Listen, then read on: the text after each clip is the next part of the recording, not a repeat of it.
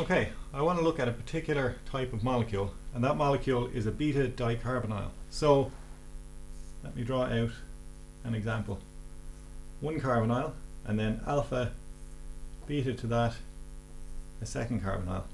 And I'm going to pick a particular example that you're going to recognize from a reaction we've done before, which is the Claisen condensation. If you do the Claisen condensation with ethyl acetate, you end up with this molecule here, acetoacetate. Um, or ethyl acetoacetate.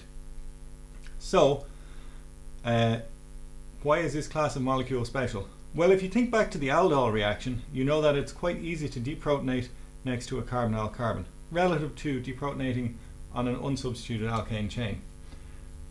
What happens if you have two alkanes? Well, just like we saw at the end of the Claisen condensation, the reason the Claisen condensation traps along here is that these hydrogens are much more acidic than they would be if there was just one carbonyl. And there are other examples of beta dicarbonyls that you can have a look at. So this could be a nitrile, it could be CN, or it could be a symmetric molecule. It could be what's called diethyl malonate.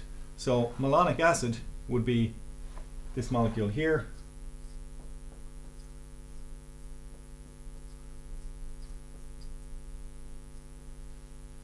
And if you make the diester of that, then you get diethyl malonate. Obviously the acid is going to deprotonate before we ever deprotonate the carbon. So this won't react in the same way, but this will react in the same way. Or as I was saying, you can replace one side with a nitrile and get similar reactivity. Although these hydrogens will be that little bit less acidic because the nitrile is that little bit less able to stabilize a negative charge on that position.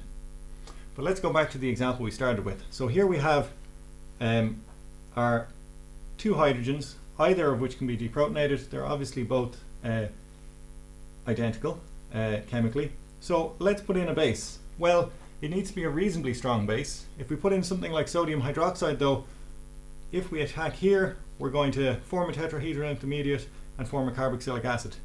And so that's not the reaction we want to do.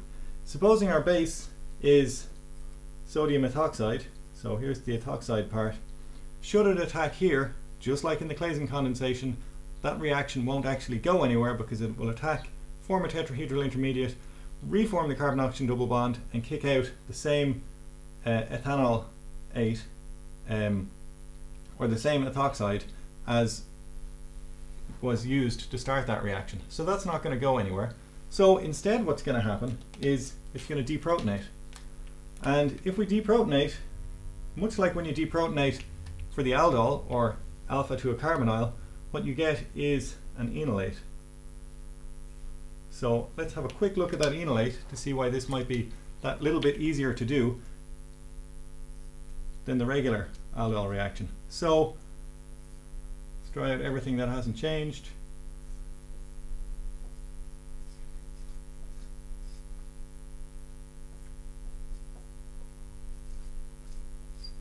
Okay, we took this pair of electrons, one of the lone pairs in the oxygen, one with the negative charge written on it, and we made a new oxygen-hydrogen bond. That's now ethanol.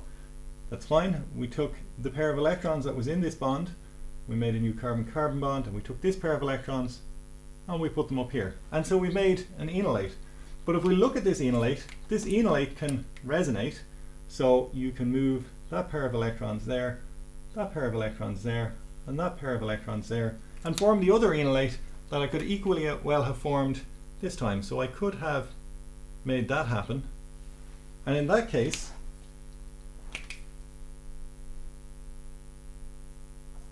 what I would have got was this molecule here.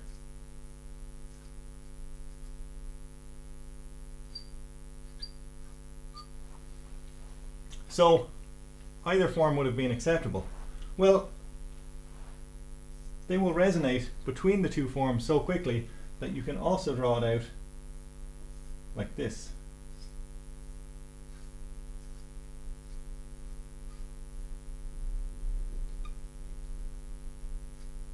And so you can begin to see why this is so much better at giving away its proton than the equivalent uh, carbonyl over here. So the equivalent hydrogen alpha to a carbonyl, but just alpha to one carbonyl. So the equivalent ketone is so much less acidic than these are. Well, what are we going to do once we form this? These are reasonably good nucleophiles. They're not as good a nucleophile as, say, a regular enolate because they are stabilized, but they will still act as nucleophiles. So let's put in an electrophile. And let's say our electrophile is um, bromoethane, for want of a different electrophile. Put in our bromoethane, what is going to happen? Well, exactly the same as might happen in an aldol reaction or a Claisen reaction, the enolate will act as a nucleophile from the carbon. So we'll reform a carbon-oxygen double bond, take this pair of electrons, and in an SN2 fashion form a new carbon-carbon bond and kick out the bromine all at once. And what's our product going to look like? Well, our product is going to look like exactly what you'd expect by following the rules. So they are all the things that were there. Took that pair of electrons, made a new carbon-oxygen double bond, took that pair of electrons, made a new carbon-carbon bond, took that pair of electrons, and it's now on the bromine, you got bromide. So all we've done is alkylated this position in the middle. And so these are really useful for being able to alkylate here. And what you can do afterwards is you can heat these up in a basic solution to get rid of the ester to get a carboxylic acid and then heat them up in an acidic solution and you'll get decarboxylation. And so you can get rid of this group and you formed your side chain. And you can alkylate it once, you can deprotonate it, and you can alkylate it a second time.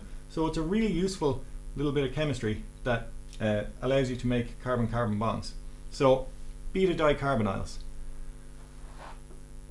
Beta dicarbonyl.